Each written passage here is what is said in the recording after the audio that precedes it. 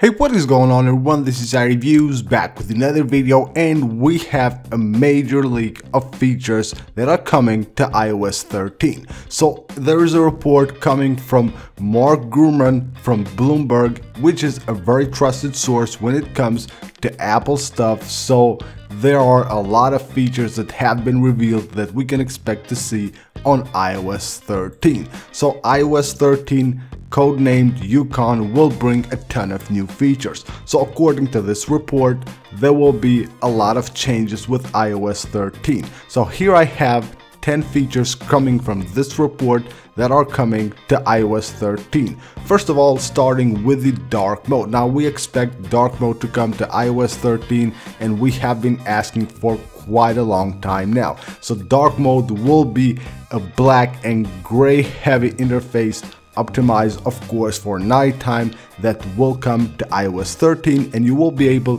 to enable or disable it from the control center. Another feature coming to iOS 13 is a system-wide sleep mode. You will also be able to turn it on or off from the control center. So when you enable it from the control center, it will turn on the do not disturb mode, also will darken the lock screen and will also mute all the notifications. Also, we will get a more organized share sheet. So when you, whether you're in an app or you want to share a picture or anything, you tap on the share button, you get the share sheet. That will be also more organized and probably redesigned. The report also says that there is a new feature also coming to the Safari app and we can expect iOS 13 to include a downloads manager for Safari and of course an updated Files app that will work better with third-party software.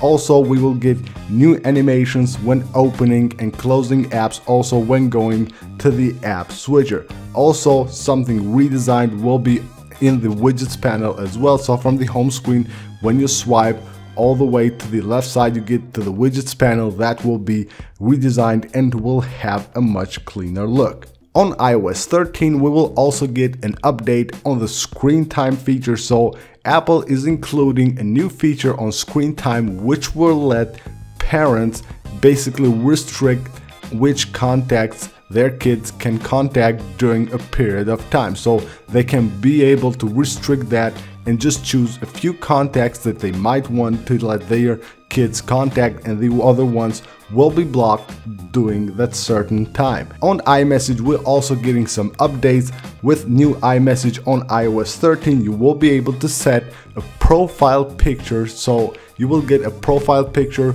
for your iMessage and of course you will be able to choose whether you want someone to see it or not. You choose which contacts you want to see your profile picture or not. The Mail app is also getting an update on iOS 13 and you will be able now to mute certain threads and also you will be able to block contacts. So any contact that you choose to block won't be able to send you an email. The Maps app is also getting an update now. It will be easier to set frequent locations and also you will be able to create group of frequent places and also add a picture to that group. So these are 10 new features that are coming to iOS 13 that have been reported on Bloomberg Hopefully we will see all of them. I believe we will because this is a very trusted source when it comes to Apple news. Thank you guys for watching. I hope you enjoyed the video. Go ahead and subscribe for more. I'll see you on the next one.